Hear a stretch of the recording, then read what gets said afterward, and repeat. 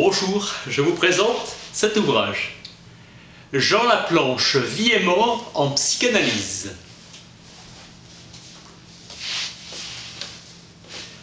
Problématique de l'objet de la psychanalyse. La chronologie est un repère. Histoire latente et partiellement inconsciente. Évolution par retournement et par crise. Passage d'un certain équilibre structural, tournant. Invariance à travers des bouleversements. Enrichissement positif de la doctrine en fonction des apports de l'expérience. Moment de véritable coupure et mutation de la théorie. La critique interne démontre les faiblesses de la discipline. Tentative tâtonnante et imparfaite de l'interprétation dans la cure psychanalytique. Originalité de la pensée freudienne dans l'unité de son jaillissement originaire. Incidence de l'angoisse de mort ou d'un désir de mourir. La mort humaine comme finitude, réduction au zéro des tensions vitales. Dans l'inconscient, la mort serait toujours la mort de l'autre. Le terme d'objet fait apparaître celui-ci comme moyen, ce en quoi et par quoi le but est atteint. Analogie de la pulsion comme besoin sexuel, nutrition. Le sussautement nous fait connaître la sexualité infantile. Auto-érotique et son but est déterminé par l'activité d'une zone érogène. Pousser une source, une accumulation de tensions. L'étayage consiste dans l'appui que trouve la sexualité dans un fonctionnement lié à la conservation de la vie. Besoin de répéter la satisfaction sexuelle, nutrition. Freud définit l'auto-érotisme avec Havelock comme absence d'objet. Au premier commencement, la satisfaction sexuelle était liée à l'absorption des aliments, étayage. Objet sexuel au dehors du corps propre. Trouver l'objet sexuel, c'est à proprement parler le retrouver. En psychanalyse, l'aliment par rapport au but de l'alimentation, nous parlons d'incorporation et non d'ingestion. Avec l'incorporation, le but est devenu scénario d'un fantasme, l'ingestion ayant une implication cannibaliste. La source est la question centrale. La source de la sexualité est une excitation mécanique du corps dans son ensemble. L'excitation sexuelle se produit comme effet marginal de toute une série de processus internes, activité musculaire et travail intellectuel. Sexualité à partir de l'ordre vital, imperfection fondamentale chez l'être humain, véritable déhiscence. Immense élargissement de la psychanalyse apporté à la notion de sexualité, activité humaine. Le refoulé, c'est le sexuel. La sexualité est le refoulé par excellence, affirmation renouvelée dans l'œuvre de Freud. Des souvenirs peuvent déclencher du déplaisir. La libération du déplaisir diminue lorsqu'il se réduit à un signal d'une intensité que le moi est capable de supporter. Inhibition du moi.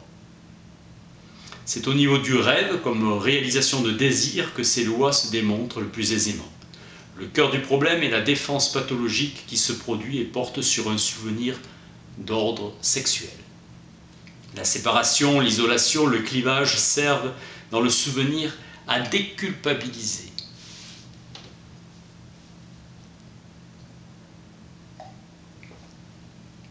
Chaîne associative, nettement séparées par une barrière temporelle qui les fait ressortir à deux sphères de signification différentes. Sous l'influence de Charcot et les travaux de Breuer, Freud fait graviter sa pensée sur la notion de traumatisme en relation causale avec l'hystérie, tel que le trauma déclenche le symptôme comme un agent provocateur, symptôme qui persiste de façon indépendante. Le trauma psychique, ou plutôt son souvenir, agit à la façon d'un corps étranger qui reste actif, agent, longtemps après sa pénétration. Les hystériques souffrent de réminiscence comme un objet intérieur qui constamment attaque le moi. La sexualité surgit par déviation et retournement auto-érotique. Le moi s'efforce de faire régner l'influence du monde extérieur sur le ça et ses tendances. La perception joue pour le moi le rôle qui revient à la pulsion dans le ça. Le caractère essentiel des neurones est leur capacité de véhiculer de l'énergie. Transmission absolument mécanique. Les neurones se vident, l'énergie devant s'évacuer complètement d'un élément à l'autre. Le moi est un réseau de neurones investis, inhibition de l'écoulement de la quantité. L'investissement de désir allant jusqu'à l'hallucination, l'énergie dont est chargé le moi, est d'origine endogène. C'est une partie de l'énergie pulsionnelle. Thèse de Freud selon laquelle le narcissisme est un investissement libidinal de soi, un amour de soi, investissement libidinal du moi inséparable de la constitution même du moi humain. Référence essentielle pour la compréhension des psychoses, retrait de la libido et de l'intérêt du monde extérieur détachement par rapport à l'objet externe se traduisent par un délire de fin du monde, délire des grandeurs et hypochondrie. Amour de soi ou de quelqu'un qui soit semblable à une certaine image de soi, homosexualité. Le pervers et l'homosexuel choisissent par leur objet d'amour ultérieur non pas sur le modèle de la mère, mais bien sur celui de leur propre personne. L'homosexuel se situe à la place de la mère et son objet à la place de l'enfant que lui-même a été. Jeu du miroir où s'opère un double déplacement. Objet calqué sur le moi choisi dans la lignée de la femme qui donne ses soins. C'est dans l'attitude des parents envers l'enfant, sa majesté, le bébé, que sont décelés la surestimation, l'idéalisation et le sentiment mégalomaniaque de toute puissance caractéristique du choix narcissique. L'amour des parents n'est rien d'autre que leur narcissisme qui vient de renaître. La toute-puissance parentale est vécue par l'enfant qui l'inverse. La faim et la fonction d'alimentation sont réendossées par l'amour et le narcissisme, je perçois, de même que je mange pour l'amour du moi. Dans la pulsion de mort, l'agressivité est tournée vers le sujet et comme stagnante en lui, puis défléchie vers l'extérieur, masochisme primaire. Genèse de la pulsion sadomasochiste en tant que pulsion sexuelle. Sadisme et masochisme sont le renversement dans le contraire, le retournement sur la personne propre. Passage d'une pulsion de l'activité à la passivité ou vice-versa, complémentarité entre les deux positions. Transformation réversible, ces deux destins sont étroitement intrigués et ne sont distingués que par leur abstraction. Se faire souffrir, masochisme ou se détruire soi-même. L'activité tournée vers un objet extérieur, détruire l'autre, le faire souffrir, l'agresser, sadisme. Une culpabilité entraîne l'agression. Sadique, il faut l'humilier, dominer, mais aussi infliger de la douleur. Agressivité tournée vers l'extérieur, mais non sexuelle. Le déplaisir, phénomène de la douleur lié à l'essence du masochisme. Le fantasme sadique implique l'identification à l'objet souffrant. La pulsion sexuelle sadomasochiste, jouir de la douleur, trouve son origine au temps masochiste, mais sur la base du retournement d'une hétéro-agressivité originaire.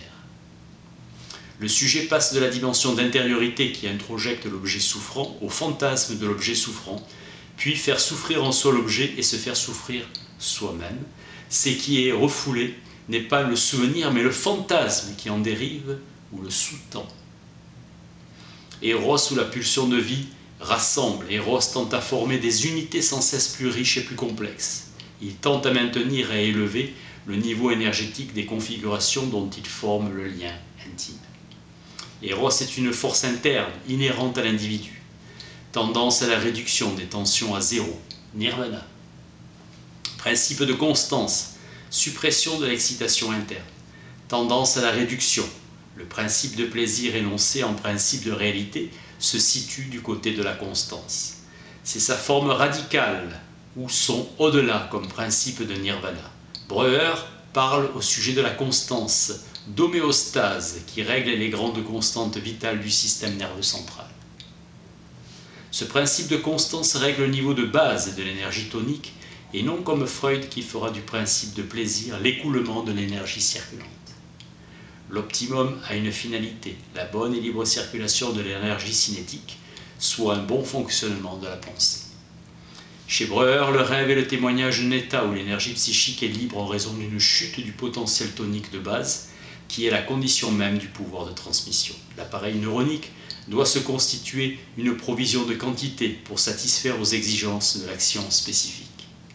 L'énergie de la pulsion sexuelle a été dénommée libido et par un souci formaliste de symétrie, le destrudo désigne l'énergie de la pulsion de mort. La pulsion de mort n'a pas d'énergie propre, son énergie c'est la libido. La pulsion de mort est l'âme même, le principe constitutif de la circulation libidinale. Dans la sexualité, l'instinct, force vitale, se perd dans la pulsion. Conflit du moi et de la pulsion, fantasme de désir, l'ultime forme de l'opposition entre liaison et déliaison. Jean Laplanche, Vie et mort en psychanalyse. Merci.